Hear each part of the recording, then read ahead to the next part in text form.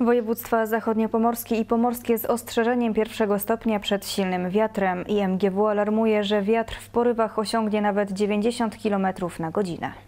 Nad Polską nadal utrzymuje się niż atmosferyczny Hendrik. Niż ten wywołuje silny wiatr, który dziś jeszcze będzie obecny. Najmocniej powieje w porywach nawet do 90 km na godzinę na północy województw pomorskiego i zachodniopomorskiego. Ostrzeżenie wydane przez IMGW obowiązuje także w północno-zachodniej części województwa warmińsko-mazurskiego. Jednak tam wiatr będzie słabszy, maksymalnie 75 km na godzinę. Taka pogoda wraz z nadejściem nowego tygodnia ustąpi, mówi klimatolog Rafał Maszewski. W sobotę dość silny, ale w niedzielę ostatecznie wiatr się uspokoi i w kolejnych dniach na szczęście nie będzie już dla nas groźny, słaby, okresami umiarkowany. Ostrzeżenie pierwszego stopnia przestrzega przed niebezpiecznymi warunkami atmosferycznymi, które mogą wyrządzić szkody materialne i być bezpośrednim zagrożeniem dla zdrowia i życia. Dlatego w tych regionach ciągle aktualny jest apel o pozostanie w domach i zachowanie szczególnej ostrożności.